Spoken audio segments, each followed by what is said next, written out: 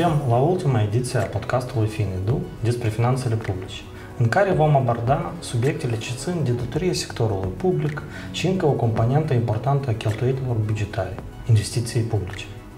Vom încerca împreună cu invitatul nostru să înțelegem ce este datorie publică, cum se formează aceasta, cum trebuie înțelese cifrele, ce o definesc, pe ce se cheltuie banii împrumutați de-a lungul timpului și care sunt principalele direcții în care statul nostru investește bani și cum face rost de bani pentru asta și multe, multe alte aspecte. Ca întotdeauna, acest podcast este realizat de Asociația Obștească FinEdu în parteneriat cu Ministerul Finanțelor, cu suportul Camerei Americane de Comerț din Moldova și a partenerilor media, portalul Privesc EU și publicația periodică Monitorul Fisc MD. Vă încurajăm să vă abonați la canalul nostru de YouTube, să dați like și share la acele episoade care v-au plăcut cel mai mult. De asemenea, întrebările adresate prin intermediul comentariilor la videoul curent sau la cele anterioare vor fi neapărat luate de noi în vizor și tratate în emisiunile următoare. Cu toate că astăzi nu mai putem vorbi despre emisiunile următoare, astăzi fiind ultima emisiune din cadrul seriei noastre de podcasturi, marca Finedu, Finanțele Publice. De aceea, astăzi avem un invitat special și anume domnul Ion Gumenia, care este secretar de stat la Ministerul Finanțelor și are o experiență de peste 20 de ani în tot ceea ce înseamnă politici publice strategice, atât pe partea publică cât și pe partea um, corporativă, dar și a sectorului asociativ. Bună ziua, domnul Gumeni! Bună ziua, mersi tare mult pentru invitație!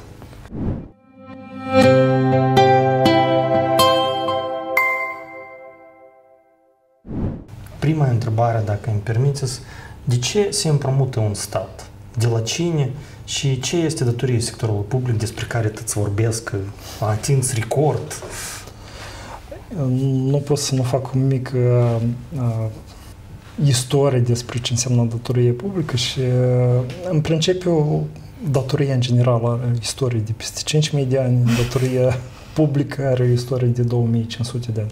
Deci este un instrument, probabil a apărut ca și instrument financiar mult mai înainte decât toate teoriile economice care au apărut uh, acum 300-400 de ani.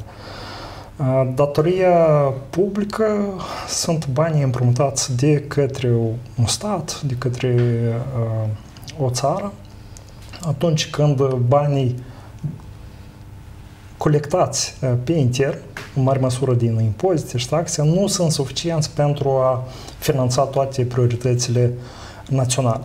Și atunci intervine instrumentul ăsta care ne permite să, să colectăm bani suplimentari la bugetul de stat, fie pe piața internă, fie ne împrumutăm pe piața internă, fie pe piața externă, pentru a ne permite să finanțăm unele priorități pe care le considerăm prioritare. Ce este datorie publică? Este și aici o, să zic, o sintagmă care este utilizată diferit. Uh-huh. Datoria publică, care în principiu pentru noi, cei de la Ministerul Finanțelor, nu ne spune prea multe. Noi suntem uh, obișnuiți să spunem datoria sectorului public. Datoria sectorului public care constituie uh, sau se formează din datoria Guvernului Central, datoria Băncii Naționale, datoria unităților administrativ-teritoriale și datoria întreprinderilor de stat sau societăților pe acțiuni cu capital majoritar de stat. În Republica Moldova, probabil când se spune de datorie publică, se are în vedere datoria sectorului, datoria de stat. Uh-huh. Datoria de stat care e contractată de către guvern Guvernul Central, care constituie 97% din totalul datoriei sectorului public. Ok. Și în cazul dat, cu alte cuvinte, noi putem spune că datoria sectorului public este utilizat pentru a acoperi diferența dintre venituri care noi avem pe parcursul anului și cheltuieli planificate, cumva să fim siguri că banii sunt, cheltuielile o să fie efectuați. Și vine și din ideea următoare că veniturile nu permanent vin în aceeași an. Ei pot să vin și pe parcursul mai multor ani, dar totodată cheltuielile și investiții nu trebuie să efectuăm azi. Exact. Orice stat, orice guvern o să fiți de acord că vrea să dezvolte. El vrea să dezvolte un stat, vrea venituri mai multe, vrea să arate cetățenilor calitatea vieții mai înaltă. La urma urmei, promisiuni sunt făcute și în campanie electorală și guvernul vine să satisfacă cele promisiuni. Drumuri, școli, calitate mai bună în spitale. Și atunci guvernul face un fel de contabilitate. Sunt toate veniturile care eu le am.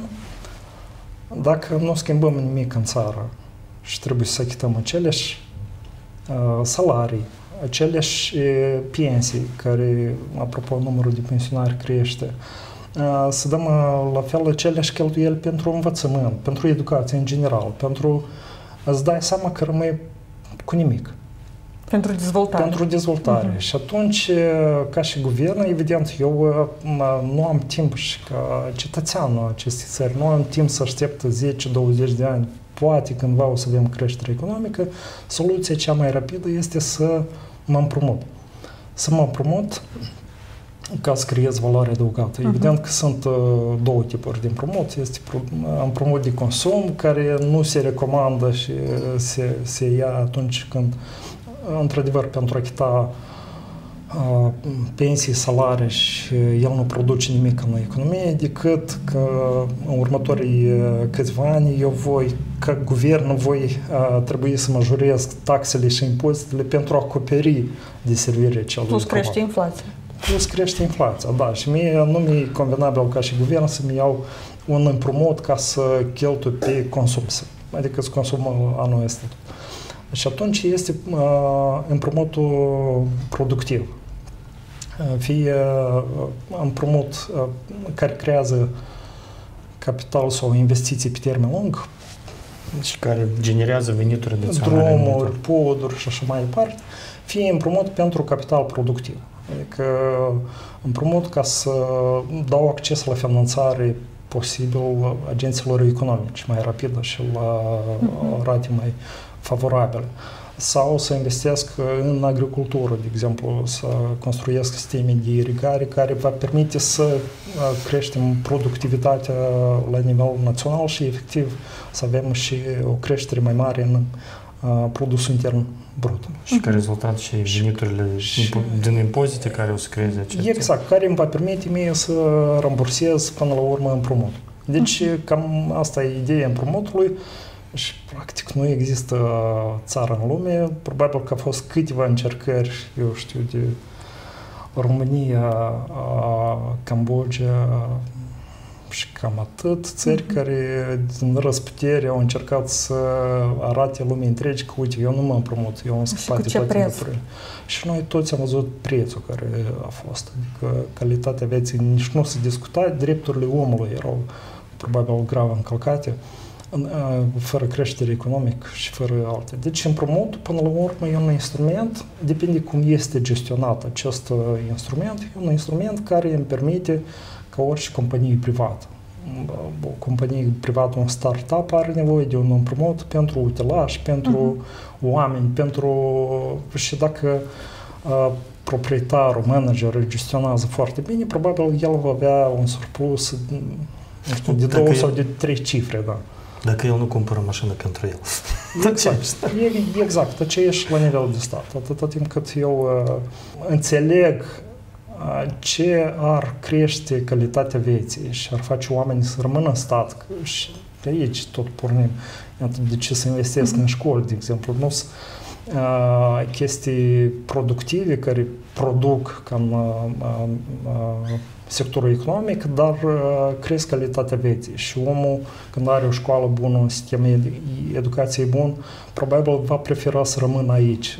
Preferând să rămână aici, probabil el va lucra, se va încadra pe piața muncii și va contribui prin taxe și impozite. Deci, la fel, este un tip de investiție pentru care statul se împrumută foarte interesant și bine punctat ceea ce ați spus un pic mai devreme.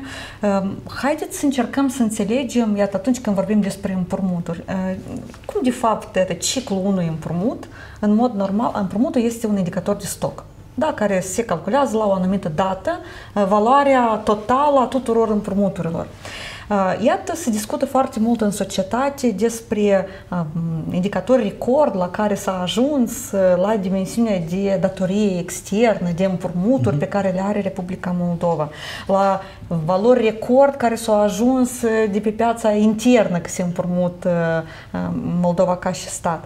Haideți un piculeț să încercăm să înțelegem, iată această valoare, ea s-a format cum? Asta este rezultatul unui an de activitate sau asta este rezultatul unei perioade de timp? Adică cum are loc formarea acestui împrumut ca să înțelegem o cifră când auzim că la o anumită dată valoarea este atâta? Asta înseamnă ce? Asta înseamnă împrumuturile care au fost contractate în acest an? Sau cum, mm-hmm. cum anume trebuie să înțelegem cifra pe care o auzim?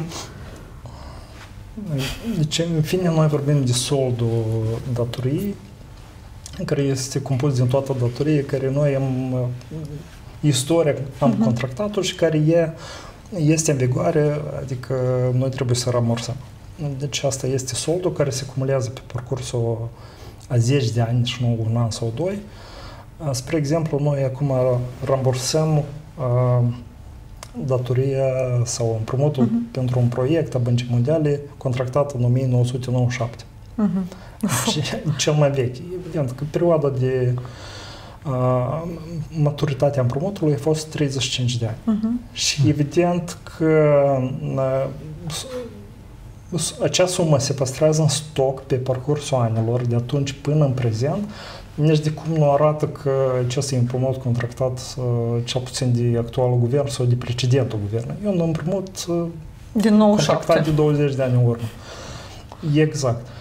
Uh, și uh, în felul ăsta se ajung la cifrele care noi le avem, stocul sau soldul datoriei publice, care e de ordinul, deci la momentul e 105 miliarde lei. Dar evident trebuie să ținem cont că asta nu sunt bani contractați într-un an, și nu sunt bani care trebuie returnați într-un singur an. Uh-huh. El include, cum ziceam, și împrumuturi de acum 20 de ani, care probabil la anul ăsta sau la anul le vom stinge, includ și împrumuturi care au fost contractate anii, ultimii 2-3 ani și pe care trebuie să le stingem probabil în 20-25 de ani, că avem și așa maturitate. Uh-huh.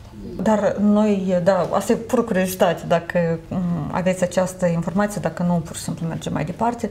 Noi avem, de exemplu, cel mai mare împrumut, că cel mai vechi, am înțeles, este unul din 97, dar ca și dimensiune, cel mai mare împrumut pe care noi l-am contractat și trebuie să-l întoarcem înapoi? Cele mai mari, dacă vorbim de valori, cum ar fi. de valori, da. de proiecte de investiții, cele mai mari sunt în uh, infrastructură drumurilor. Uh-huh. Acolo sunt împrumuturi de 150 uh, proiecte finanțate 150 de milioane de la BER, de exemplu, și 150 de milioane de la BIE. Uh-huh. Uh, împrumuturi suprabugetar de la Fondul Monetar Internațional, uh-huh. care ultimul program, la fel, este uh, de câteva sute de milioane. Uh-huh. Ajunge până în 500 de milioane. Cam, cam astea sunt. În principiu sunt până la 50, până la 100 de milioane. Uh-huh. Ca, ca și indicator, dacă îți pomeni de cifre, trebuie să ne uităm la indicator mai relativ, adică uh-huh. ponderea din ceva, pentru că incorrect, noi atunci când vorbim, spre exemplu, în jobul pe care l-am și vorbesc cu străinii în miliarde de lei, pentru ei sună foarte abstract. Probabil și în sute de milioane sună foarte abstract, pentru ei sunt cifre foarte mici. Adică când le spun de împrumuturi, ei zic, asta nu e împrumut, asta e... Deci, e corect să vorbim uh, în termeni relativi. Uh-huh. Uh, cel mai, cea mai utilizată uh, cel mai utilizat indicator de a caracteriza gradul de împrumutare a guvernului central este ponderea în produsul intern brut. Uh-huh. Deci, noi, la data de azi, avem, bine, ținând cont de produsul intern brut planificat uh-huh. pentru 2024, avem cam 33% uh-huh. datoria datorie de stat din produsul intern brut. Probabil e una dintre cele mai modeste valori din Europa. Pragul admisibil pentru țări de categoria noastră este de 60%, adică dacă atingem 60%, noi trebuie să ne facem griji.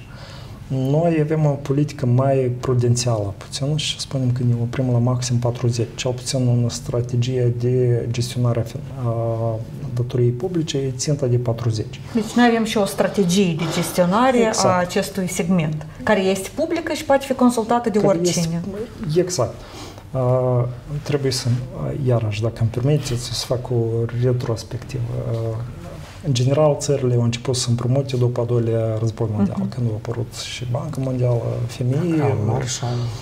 Exact. Și uh, au început să împrumute destul de mult, să spunem așa, când uh, anii 80 a început criza împrumuturilor. Uh-huh. Adică uh, state supra-îndatorate, îndatorate pentru consum, nu pentru uh, investiții pentru a produce ceva și uh, s-a început uh, unele cazuri de default, cred default că. a statului. Da. Mexic, de exemplu, unele țări latinoamericane.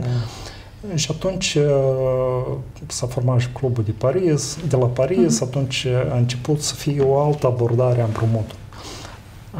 De atunci, organizațiile um, financiare internaționale au început să aibă o o atitudine mult mai prudentă.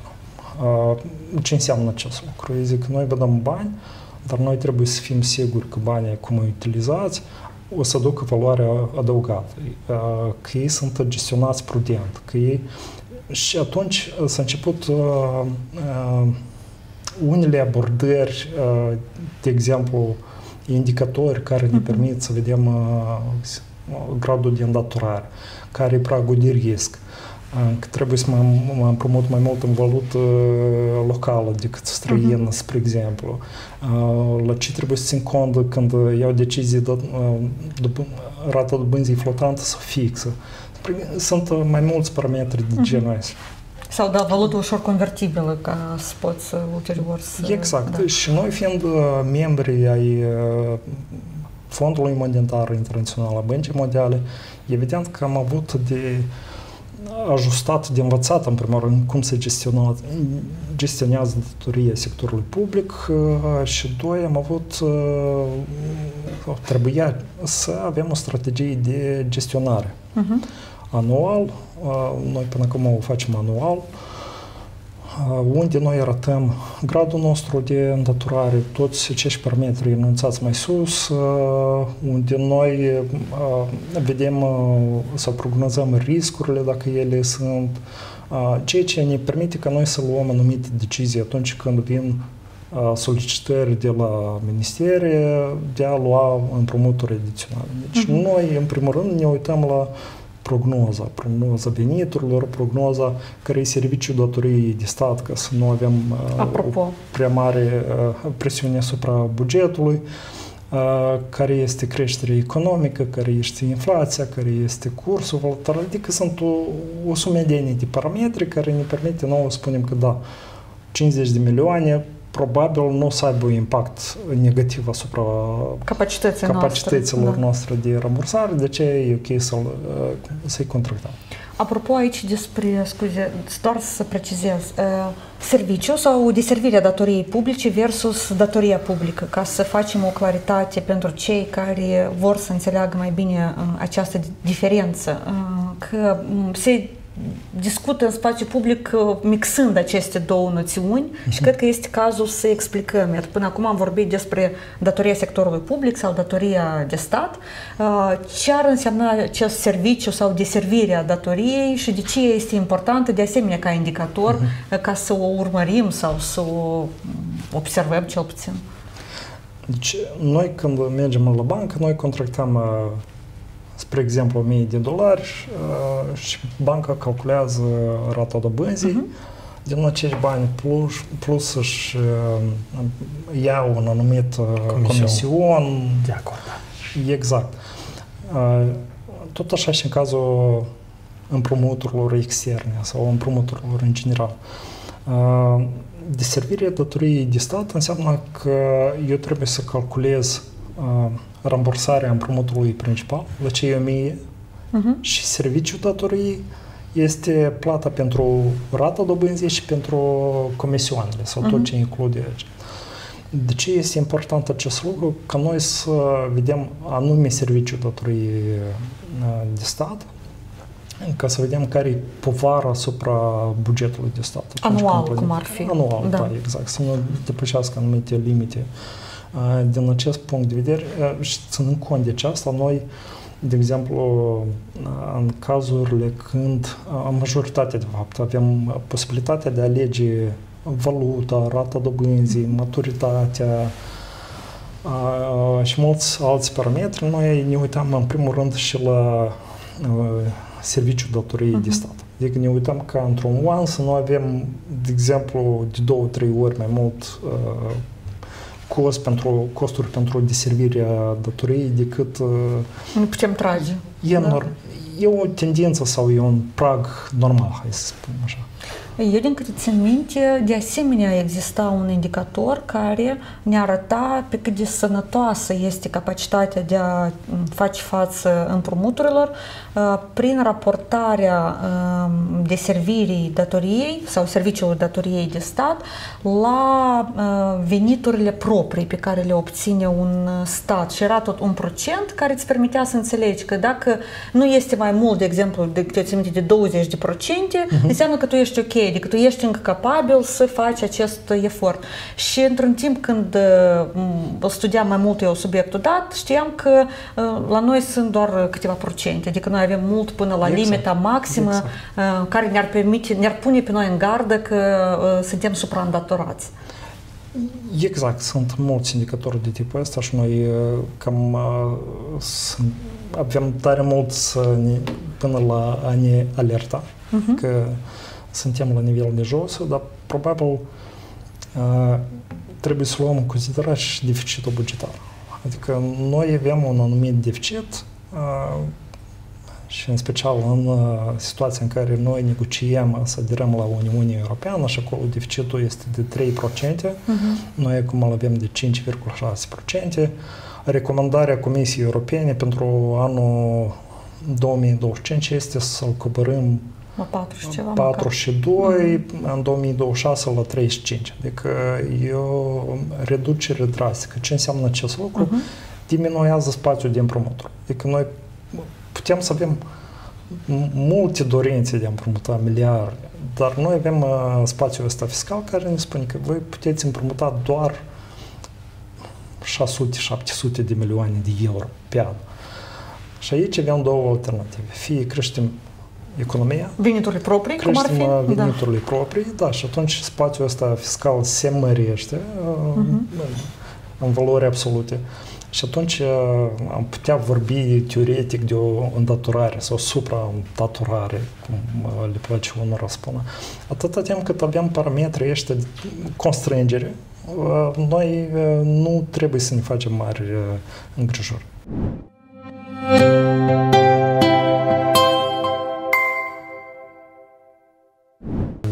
Auzit că cele majore împrumuturi sunt de la BI, IBRD, dar totodată permanent este vorba despre datorie publică internă. Uh-huh.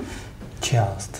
Deci ceva unde asta înseamnă că noi vă finanțăm, deci noi finanțăm statul, noi eu vorbesc de cetățeni, ori, uh-huh. ori alți instituții, ori alți persoane. În principiu, statul are foarte multe opțiuni de finanțare. Cum spuneam, există un deficit, statul vrea să facă proiecte de dezvoltare, proiecte de, de infrastructură. Și atunci se uite pe piață. Este piața externă, fie că se duce la anumite țări și ia direct bilateral, fie se duce la instituții financiare internaționale sau fie plasează un eurobond pe piața internațională, piața internațională de capital ori are piața internă. Piața internă e exact același lucru. Fie emite VMS-uri, valori mobiliare uh-huh. de stat, obligațiuni de stat, bonuri de trezorie, populația, agenții economice, orice persoană fizică, în principiu și juridică, poate cumpăra aceste obligațiuni. Se poate duce la bancă, probabil e mai dificil uh, și uh, nu este chiar uh, rentabil. Uh, mai sunt și alte opțiuni care la noi, uh, fiind o piață dezvoltată modest, piața de capital dezvoltată modest, ele nu sunt accesibile. Nu avem fonduri de pensii, companii de asigurări care ar cumpăra sau care ar investi în proiectele statului. Noi, deci, avem o piață cam redusă, dar în ultimul timp crește din ce în ce mai mult ca valoare și ca pondere în datorie totală de stat. La moment sunt 40 de procente ne împrumutăm pe piața internă, din toate necesitățile, uh-huh. 60 pe piața externă. Poate aici până mergem mai departe, pentru cei care nu neapărat sunt foarte inițiați în ale finanțelor, noi când zicem că ne împrumutăm, când zici ne împrumutăm de pe externă, e relativ simplu, seamnă cu o bancă. Când zici ne, când te duci la o bancă uh-huh. și ți ai un împrumut. Uh-huh. Când zici că ne împrumutăm de pe intern, ce înseamnă asta? Că noi lansăm un call, lansăm o, un fel de ofertă, că noi vrem avem nevoie de așa un volum de bani. Și vin cei care sunt de pe piață cu ofertele lor, că eu sunt gata să-ți dau atâția bani sub așa un procent.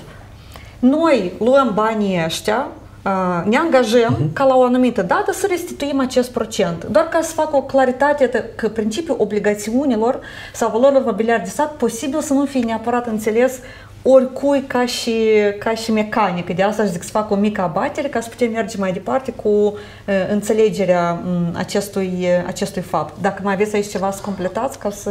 Exact, deci același lucru, cum ați menționat, uh, cum s-ar duce statul la bancă și a lua uh, o sumă de bani necesară, la fel este instrumentul obligațiune sau valori mobiliare uh-huh. de stat care pot fi și bunuri de uh-huh. trezorie, vorba de maturitate, prin care statul spune că eu am nevoie, uh, face un comunicat mai întâi și spune, de exemplu, eu am nevoie în următoarea lună sau următorul trimestru să mă finanțez cu 2 miliarde de lei.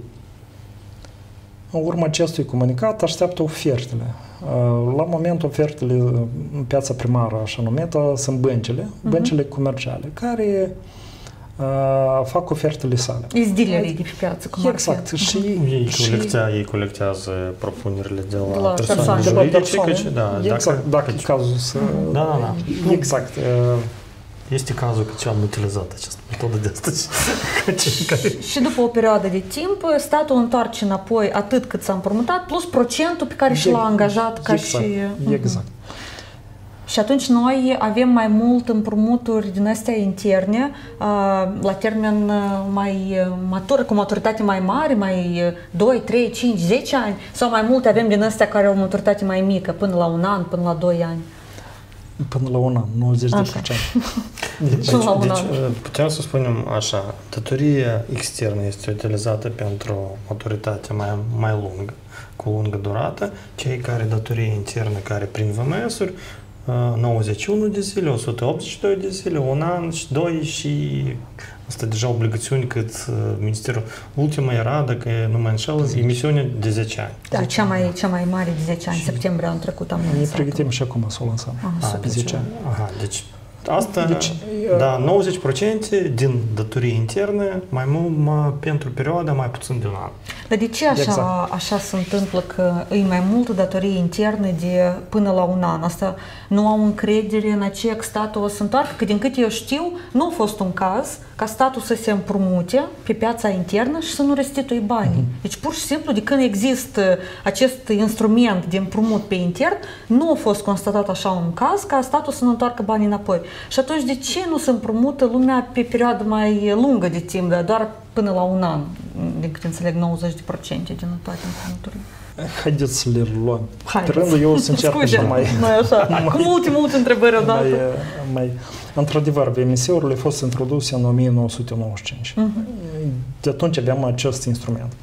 Doar că dacă facem un sondaj între populație, probabil foarte puțini cunosc ce este o valoare mobiliară de stat. Uh-huh.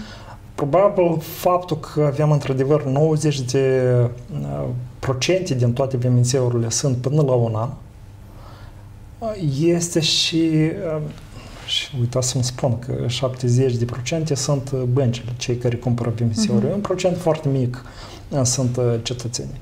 E vorba totuși de educație financiară. Uh-huh. Adică atâta timp cât omul nu cunoaște că este aceasta, e alternativă. And, uh, probabil anterior, ținând cont că au fost anumite uh, bănci falimentate pe anii 90 sau la sfârșitul anilor 90, uh, are undeva reticența asta de ce eu își da banii mei, uh, nu știu cât nu am siguranță, da. da. Și atunci asta se explică, asta și explică faptul de ce noi uh, istoric am utilizat foarte puțin acest instrument, că el a fost acum 3-4 ani, au avut o pondere și mai mică, acum ponderea crește. Avem, cum ziceam, 40% din toată datoria de stat.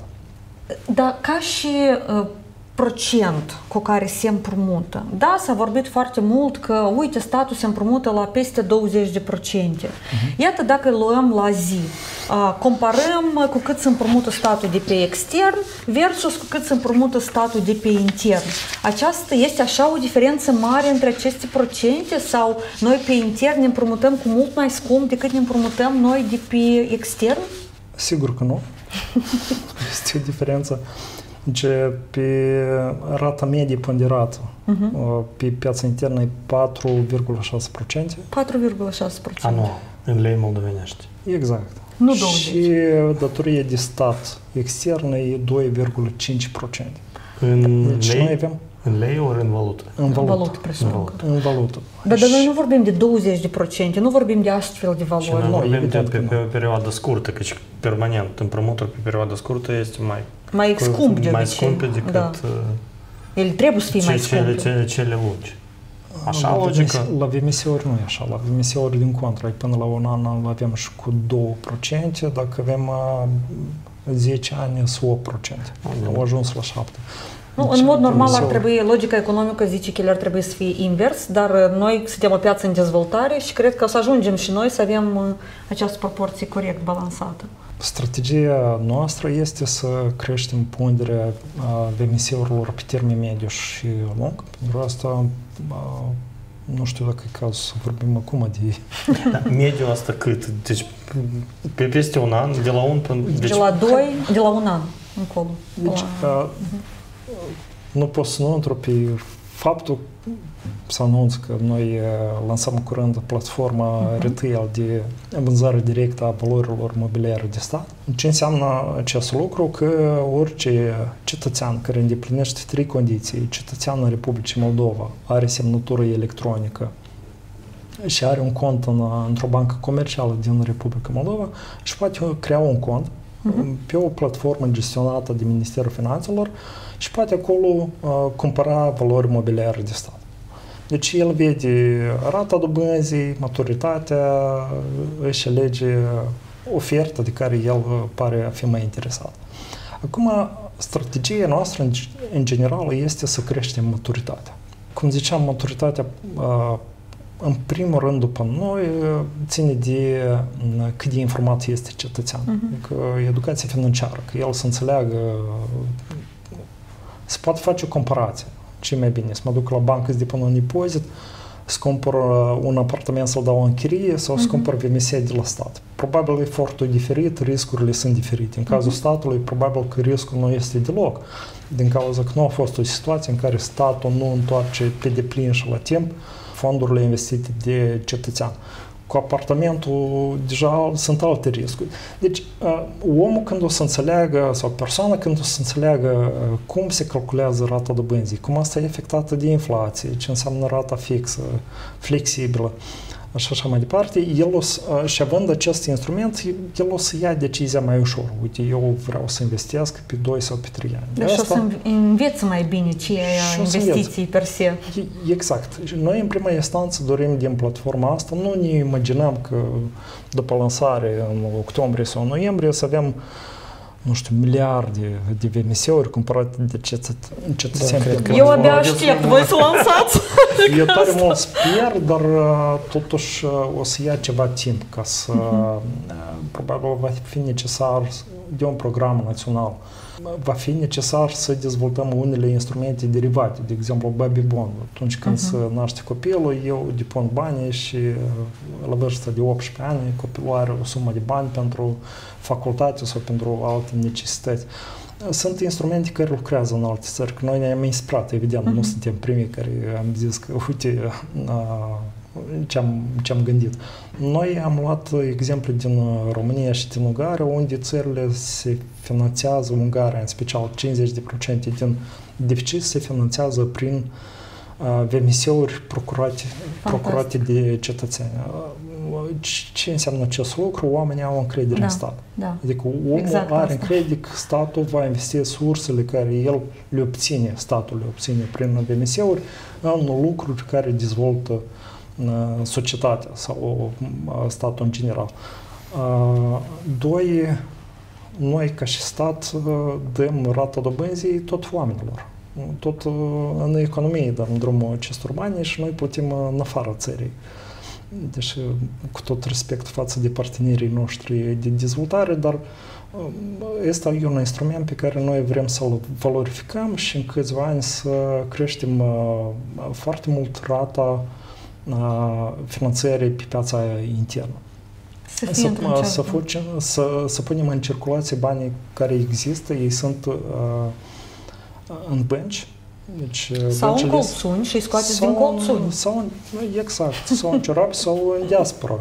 Da. Diaspora tot are resurse și fiecare din noi are câte un prieten, coleg sau rudă care la un moment dat întreabă, dar eu am atâtea mii de euro sau zeci de mii de euro, eu ce pot să fac cu banii ăștia? Eu Acum i-aș recomanda, iată unde se poate. Acum și ajungem la altă întrebare. De ce faci statul cu acești bani? Bine, acoperim deficitul și noi acum trecem la o, o cheltuială foarte importantă despre care noi tot uh, se vorbește, investiții publice. Dar până trece la investiții publice, poate într-adevăr încercăm să înțelegem mai bine. Iată toți banii ăștia care sunt împrumutați, atât de pe intern cât și de pe extern. Uh, cum se cheltuie, pe ce se cheltuie, că se vorbește, că se împrumută foarte mult uh, statul, uite cât s-a împrumutat anii ăștia, dar uh, ei unde? Se duc în acele proiecte de care ziceți dumneavoastră, sau se duc pe consum, sau se duc, adică cum se cheltuie acești bani care sunt împrumutați de către stat. Până a merge în investiții nemijlociți, încercăm să înțelegem cum în principiu se cheltuie toți banii care statul îi atrage ca și, ca și surse suplimentare ca să-și compenseze deficitul. Deci tot bugetul e construit în jurul priorităților unui guvern. Uh-huh. Și, cum spuneam inițial, că guvernul are uh, scop să îmbunătățească orice guvern, priori, că facem abstracție de are scopul de a îmbunătăți calitatea vieții oamenilor. Doar că cineva vede prin, nu știu, prin infrastructură, altcineva prin crearea condițiilor pentru business, spre exemplu. Dar ele sunt priorități. Guvernul spune, eu am prioritățile astea, eu trebuie să le finanțez. Cum spuneam, foarte, dacă lăsăm lucrurile să decurgă așa cum sunt, nu renunțăm la anumite pensii, la anumite uh-huh. plăți sociale, la, nu tăiem din anumite cheltuieli publice, atunci evident că nouă ne rămâne foarte puțin să finanțăm pentru proiecte de dezvoltare, în special când e vorba de situații de criză, cum a fost în ultimii 2-3, dacă nu mai mulți ani. Spre exemplu, ca cifre, noi până în 22 n-am avut cheltuieli pentru vulnerabilitatea energetică, mm-hmm. pentru compensarea cetățenilor ca consum. să nu intre în sărăcie. Noi pentru 2022 am avut 800 de milioane cheltuiți în acest scop, în 23 3 miliarde. Uh-huh. Deci bani care au fost probabil luați de undeva tăiați de pe anumite categorii și aici e vorba de investiții. Evident că nu poți stai salarii, pensii sau cheltuieli pentru educație și spitale.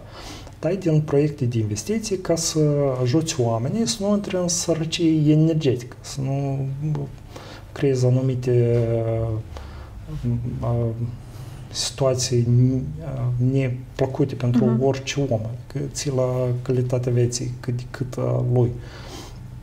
Și atunci în asemenea situații, care este sursa de finanțare? Sunt aceste împrumuturi. Dacă vrei să te dezvolți totuși, e tăiat sau e luat, e direcționat, mai ales că creșterea economică noi nu am avut, sau am avut o foarte mică, 0,7% uh-huh. în 2023, noi evident că nu am avut surse pentru dezvoltare sau nu cât ne-am fi dorit. Și atunci statul ce face? Statul se împrumută pentru a păstra cel puțin proiectele uh, care au fost uh, inițiate, inițiate promise sau pe care el le-a gândit ca stat că uite, astea ar duce la dezvoltarea țării în următorii câțiva ani.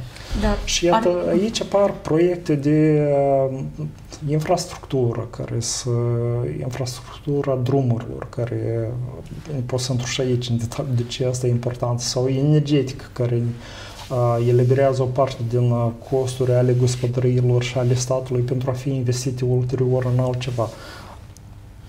Ar fi așa că banii cei care sunt împrumutați fie merg pentru ca un fel de suport bugetar, fie merg pentru ca să acopere anumite necesități, angajamente care deja au fost prevăzute în buget, fie vin cu destinații foarte clare pe careva proiecte. Corect am înțeles eu exact. din, din asta? Exact. Ținând cont de deci, o remarcă, suport bugetar și proiecte uh-huh. de dezvoltare.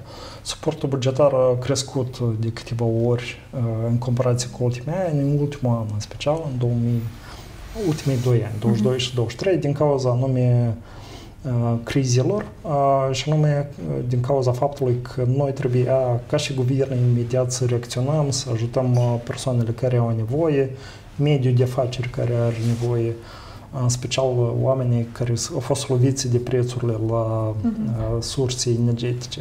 Și atunci, imediat, trebuie să compenseze acele reduceri de cheltuieli pentru investiții. Ca să faci un proiect de investiții, îți ia timp. Îți ia 2, 3, 4 ani.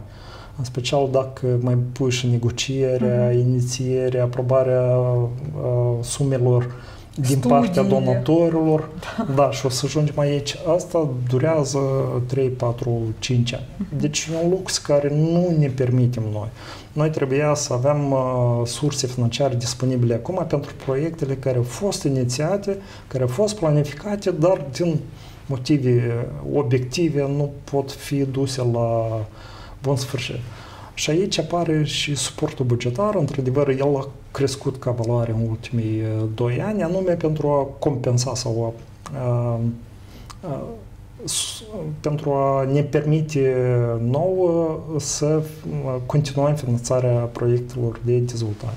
Deci, dacă eu corect înțeleg, asta înseamnă că noi avem un contract cu instituția internațională financiară, că ei ne dau credit nostru ca suport bugetar, da, asta e împrumut, da, care noi putem să utilizăm deja cum noi vrem, cum guvernul vrea să utilizeze și în cazul dat, majoritatea cazuri, este direcționat la proiecte investiționale de care sunt finanțate din surse proprii a guvernului. Exact. Exact. Împrumuturile sunt suportul bugetar este general și este sectorial. Noi de cele mai multe ori general. General ce înseamnă? Se alocă un buget și guvernul decide care sunt prioritățile. Dar cum spuneam și inițial, niciun guvern nu o să decidă să ia împrumut pentru achitarea pensiilor, de exemplu.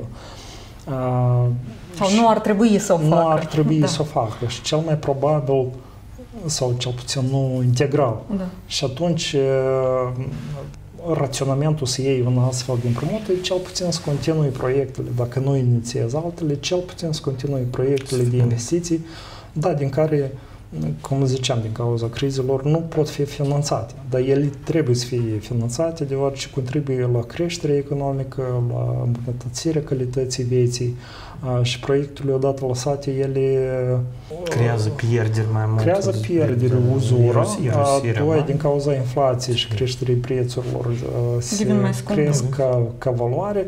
Noi avem proiecte, unele proiecte, Chiar mă uitasem pe lista de investiții capitale, inițiat în 2006, uh-huh. costa în jur de 30 de milioane, nici până acum nu este finalizat și deja e depășit de Proiecte 10 ore aproape. Ok, în cazul dat, noi am vorbit acum iar investițiile, infrastructură, investițiile în infrastructură, în cazul dat investiții publice, care e diferența între investiții în infrastructură, investiții publice? Foarte des se aude cuvânt când vorbim uh, despre buget, despre finanțele publice, este investiții publice. Ce asta? Se diferă cumva de la investiții în infrastructură, ori asta una aceeași cu alte cuvinte. Eu să încerc cumva pe înțeles tuturor, da, sunt investiții, investiții publice. Doar că noi mai adăugăm și investiții capitale, uh-huh. investiții publice capitale. E același principiu ca și în mediul de afaceri. Da. Investiții care creează valoare adăugată. Și cresc valoarea... Cresc valoarea, da. da ce, în ce se investește, cum ar fi? Da. Teren, pod, drum, școală, Deci, deci to- toate proiectele inf- pentru infrastructură sunt investiții publice, de fapt, dacă nu e așa. Nu neapărat să fie infrastructură. Nu, nu, eu spun că infrastructura intră în investiții publice, deci investiții publice este o definiție este mai largă. Este mai largă, da. Nu neapărat să fie infrastructura, sunt investițiile de exemplu, investiții în cunoștință sau în capacitatea de a Deci investiții în educație. În... Exact. E o investiție publică, nu, dar nu e infrastructură. Este capacitatea oamenilor de a lucra mai bine, de a produce mai mult.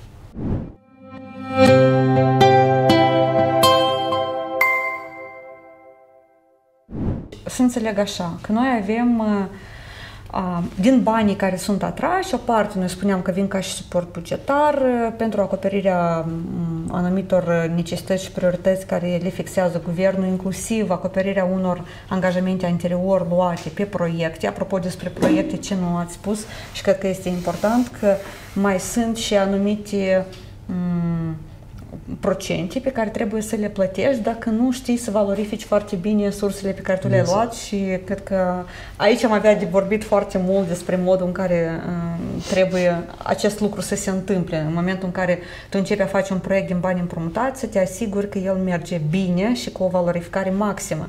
De ce? Că banii ăștia, pe lângă faptul că își pierd valoarea în timp, devin mai, devine mai scump să implementezi până la urmă acest proiect, mai are și un, o penalitate pentru ne, neatragerea acestor fonduri pe care tu le-ai contractat. Și avem investițiile capitale, noi am zis că vorbim despre ele, despre aceste investiții capitale, pe care se atrag linii separate de finanțări, uh-huh. de obicei externe, dar și interne dacă sunt parte din buget. Dar și aceste finanțări externe, ele nu vin, de exemplu, se construiește un drum, vine, se construiește, de exemplu, pe banii Uniunii Europene, banii se duc direct la constructorii acestor drumuri sau direct la Ministerul Transporturilor. Nu funcționează așa. Ei oricum Sigur. ajung în buget și din buget sunt repartizate conform acestor exact. priorități. Alte momente importante legate de investițiile capitale care credeți că noi trebuie să le discutăm astăzi aici? Ca să știm mai multe despre acest aspect important? Sigur, pot să menționez noile abordări pe care le facem uh-huh. Ministerul Finanțelor în domeniul investițiilor capitale și o să încep de la ce, ce simt oamenii, valorificarea. Uh-huh. Noi luăm împrumuturi, dar oamenii cumva pe ce cheltui bani? bani. Da. da. e frat. Da. Și evident vreau să fac remarca asta că e imposibil, nu știu ce poți face, așa poate eu sunt naiv, dar e imposibil să furi bani din uh, asistență externă. Posibil să-i gestionezi prost. Prost, de acord. Da, e corect să-i furi, probabil, e, și într-adevăr sunt uh, mecanisme, cum ați menționat. Banii trebuie bugetați, trebuie aprobați de Parlament, uh, după care sunt alocați pe sector, în sector se inițiază procedurile de achiziții publice, trebuie cel care a efectuat lucrări să demonstrează toate lucrările, banca care ne oferă împrumut, trebuie să verifice fiecare cheltuială pe ce s-a făcut.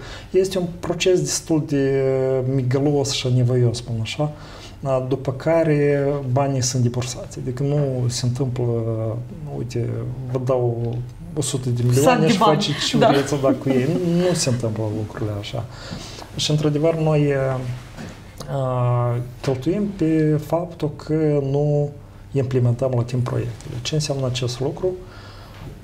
Orice instituție financiară alocă anumiți bani pentru, cu un anumit scop. În cazul, dacă sunt instituții financiare internaționale care au scopul de a ajuta țările să dezvolte proiecte de dezvoltare, evident scopul lor să valorifice cât mai rapid acești bani. Și faptul că Moldova sau altă țară nu implementează la timp, probabil e o oportunitate ratată, că mm-hmm. banii ăștia ar putea fi utilizați în alte proiecte și în alte țări, poate mai bine. De asta și este elementul ăsta de penalizare în cazul în care nu valorifici, care cumva ar trebui să ne stimuleze până la urmă. Doi, ce țin de uh, investiții, uh, de proiecte de investiții capitale. De ce nu sunt realizate și de mhm. ce noi, iată, uneori avem și cheltuiala asta, din păcate, cu nedeplasare, deși nu-i frecventă, sunt doar anumiți uh, donatori care o percep în ultimul timp, uh, ea cam dispare uh-huh. din, uh, din condițiile financiare. Era vorba de proiectele de investiții capitale care nu se realizează în termen. Uh-huh.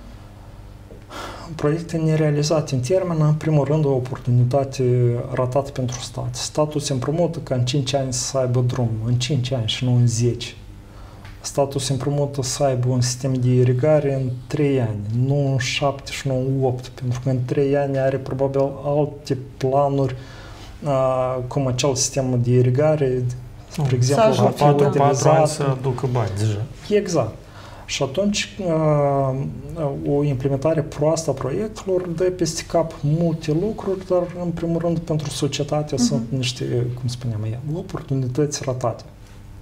Noi, uh, de ce să blochezi banii, de exemplu, pentru un proiect care știi că nu se implementează, nu e pregătit, dacă poți să-i aloci, de exemplu, pentru școli sau pentru drumuri care se construiesc mai rapid. Din acest motiv, unul din elementele cheie în gestionarea finanțelor publice, atunci când uh, dialogăm cu Uniunea Europeană în procesul acum uh-huh. de integrare Uniune în uh, UE, uh, și prima întrebare este cum îmbunătățiți voi executarea bugetelor alocate pentru uh, proiecte de investiții capitale. Uh, noi am modificat în 2022 uh, abordarea față de aceste proiecte. Deci, înainte cum se întâmpla, venea o idee și am nevoie de 200 de milioane pentru a implementa această idee. Fără a intra în alte detalii, studii de fezabilitate, designul proiectului, avem capacități în general pe piața internă de, de a implementa chiar, da. sau de a implementa proiectul și multe alte elemente. Care e impactul asupra mediului? Care e impactul asupra, nu știu, administrației publice, asupra socialului și așa mai departe. Și atunci, după ce contractăm acești bani, începem să ne gândim, da, ce trebuie de făcut? Studii de fezabilitate. Dar nu are cine să facă studii de fezabilitate, pentru că în țară așa proiecte nu s-au făcut. Hai să facem tendere internațional. Un jumătate de an, un an, și nu se întâmplă nimic. Și atunci, în termenul în care noi am contractat, noi trebuie să deservim acest împrumut, dar noi nu îl valorificăm. Din motivul ăsta, proiectele se extind. Se extind, asta e o cheltuială suplimentară pentru stat, asta unitățile uh-huh. de implementare care trebuie finanțate din, din surse publice. Și atunci Uniunea Europeană ne spune că noi posibil că am fi gata să vă alocăm surse financiare pentru uh, fonduri uh, structurale, pentru proiecte de infrastructură, pentru uh, proiecte de investiții capitale, dar voi nu le valorificați. Trebuie să demonstrați că să aveți capacitatea în câțiva ani să valorificați pe deplin aceste surse. De ce noi am modificat în 2022 abordarea de a dezvolta proiecte de investiții capitale și de a fi aprobate spre finanțare din bugetul de stat. Începând cu anul acesta, noi am făcut instruiri masive în ministerie. E adevărat că trebuie de îmbunătățit foarte multe capacitățile, capacitățile autorităților publice, dar esența pe scurt este următoarea. Că înainte de a decide asupra finanțării unui proiect, proiectul trebuie să fie foarte bine pregătit. Foarte bine pregătit înseamnă că noi trebuie să demonstrăm că acel proiect e soluția sau opțiunea cea mai bună de a implementa uh-huh. politica într-un sector sau altul, că avem nevoie de acel spital, școală sau drum sau sistem de irigare. Doi, să avem foarte clară înțelegere ce înseamnă uh, acest proiect, cât costă, ce trebuie de făcut uh, concret. Avem capacități. Unde, să implementăm? Nu avem capacități? Asta e următoarea etapă. Ah, okay. Da, în primul rând să înțelegem cât costă, pe unde trece cel drum, de exemplu. Trebuie de, de construit pământ, da, pământ, de construit poduri, drumuri adjacente. De mutat liniile... Exact, electrică, linii da. electrice pe unde trece. Toate au un cost. Trei, capacitate. Uh-huh. Dacă ne pornim la două, trebuie să știm, noi avem companii de executare a lucrărilor. Uh-huh. Sunt ele suficient de bune, calificate pe piață. Noi dacă vrem să ne integrăm în UE, probabil trebuie să tindem la standarde mai înalte. Avem noi companii care sunt certificate pentru a face astfel de construcții conform rigorilor sau nu. Dacă nu, ce facem? Mergem în țara vecină sau facem... Uh-huh dacă mergem în altă țară, probabil va crește costul de costul serviciilor. Impactul de mediu, cum acest proiect impactează solul, apele, aerul și așa mai departe, pentru că noi acum trebuie să armonizăm legislația în domeniul mediului și noi trebuie să arătăm de pe acum care ar fi impactul. Deci sunt o groază de elemente care trebuie să le cunoaștem înainte de a lua decizia, proiectul trebuie finanțat sau nu. Și atunci lucrurile se întâmplă în felul următor. Noi, ca autoritate, împreună cu partenerii, evident că să faci studii complexe, trebuie și parteneri de dezvoltare, dezvoltăm proiectele, dar finanțarea sau contractarea împrumutului propriu-zis pentru proiecte se întâmplă doar când acestea sunt suficient de mature, uh-huh. gata să fie finanțate, sunt aprobate de guvern și guvernul spune, da, proiectul ăsta e, e exact uh-huh. ceea ce am nevoie, se include în bugetul de stat și imediat atunci se începe și finanțarea, fără a avea bufferul ăsta sau timpul ăsta nevalorific, sau, de nevalorificare. Cum ar fi. Nevalorificarea surselor, da. da. și atunci noi, dacă am planificat un proiect să aibă loc sau un drum să fie construit în 3 ani, probabil el în 3 ani va fi construit. Eu dau exemplu ăsta cel mai des că oamenii înțeleg. Nu e vorba doar de drumuri, drumurile, apropo, au executare cea mai înaltă uh-huh. în ultimii ani și acolo banii se valorifică, sunt alte domenii care mai șchiopătează. Pot fi, da, poate fi îmbunătățită situația. La mine o altă întrebare, pur pentru curiozitate, dar noi după aceasta facem uh, o evaluare a post-implementării proiectului, cât el de fapt, căci noi facem studiu de fizibilitate conform legii, presupunem cât el o să ne genereze nou venituri adiționale în uh, buget după implementare, dacă ne vorbim de investiții capitale. Dar noi avem un, nu știu, un program de evaluare ce a fost implementat și cât, cât a dezvoltat, cât el a dus. Dacă prognozele noastre au dat confirmarea că în realitate veniturile din impozite ori activitatea economică mm-hmm. a crescut și asta a adus un beneficiu care noi am prognozat. Din păcate, nu este o abordare sistemică, este o abordare de la sector la sector sau de la donator la donator, dar e o abordare care nu ține atât de uh, proiecte de infrastructură sau investiții capitale sau de împrumuturi externe, ține o abordare față de orice politică publică o face guvernul. Adică dacă guvernul uh, vrea să promoveze, nu știu, oamenii să nu fumeze sau uh, să reduc fumatul în rândul tinerilor, atunci după ce face o politică trebuie să evolueze. În ce măsură intervenția sa, fie că a scumpit costul la țigări sau a mărit accizele, de fapt majorând costul țigărilor, fie că a interzis fumatul și a pus polițist la fiecare școală, fie că a făcut alte opțiuni, el trebuie să facă o evaluare. În ce măsură cheltuiala mea cu opțiunile pe care eu le-am făcut se justifică ca efort.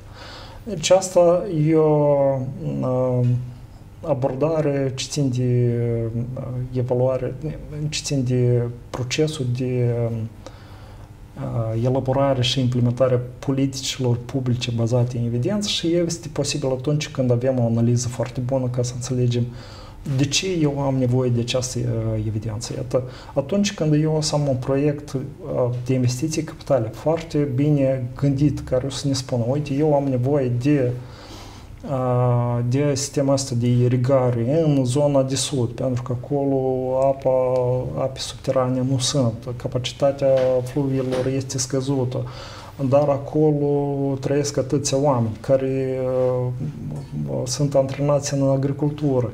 Iată, eu prin investiția mea și paralel prin investiția cum învăț oamenii cum să cultive, uh, nu știu, culturi care sunt mai rezistente la sece sau în final, eu ca stat trebuie să fiu în stare să măsor peste 5-10 ani cum politica mea, nu doar proiectul ăsta de investiții, că proiectul de investiții s-ar putea să fie doar o mică intervenție de toată politica publică, cum toată politica publică, intervenția mea, a, a contribuit la creșterea veniturilor pentru agricultorii din zona respectivă, cum a contribuit la creșterea PIB-ului, care sunt în principiu nu, nu teorii cosmice, dar sunt foarte complexe.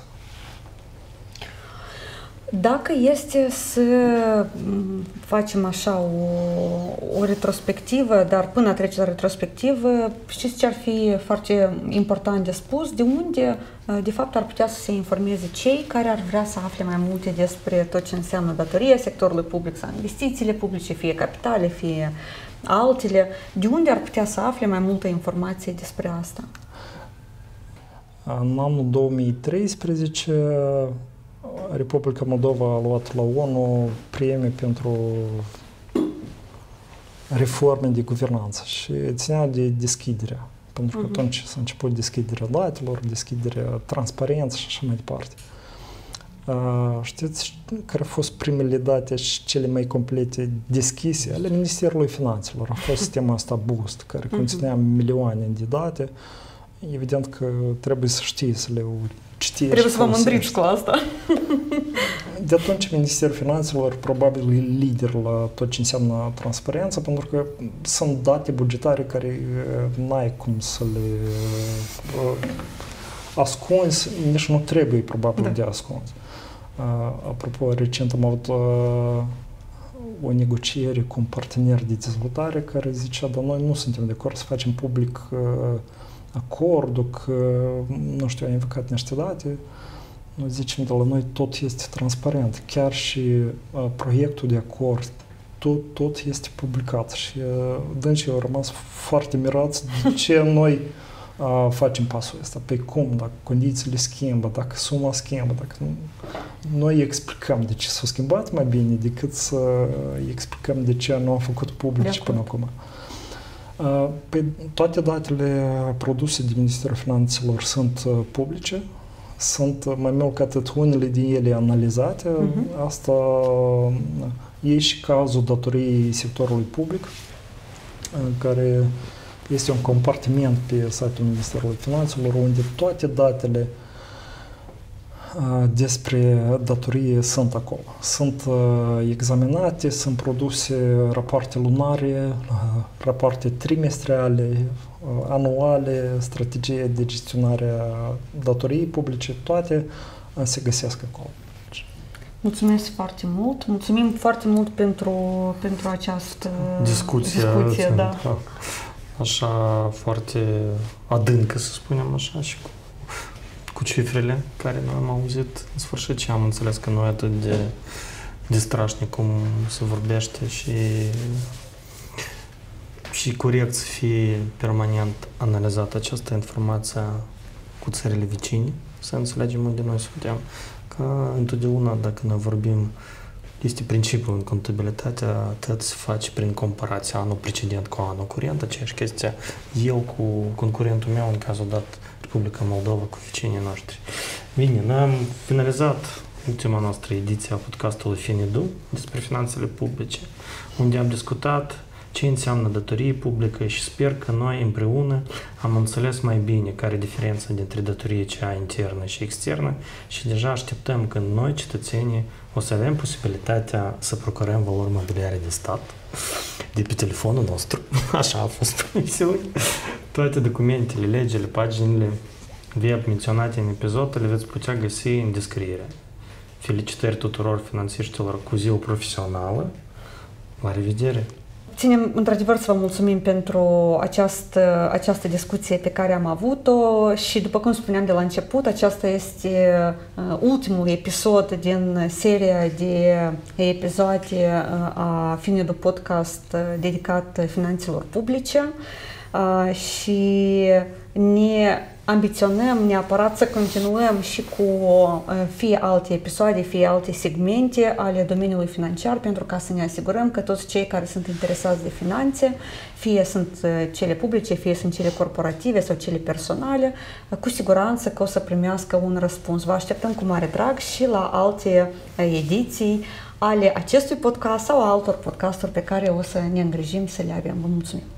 Mersi tare mult pentru invitație, pentru întrebări. Cu mare drag o să fim și altă dată. Mersi. Mulțumesc mult. Thank.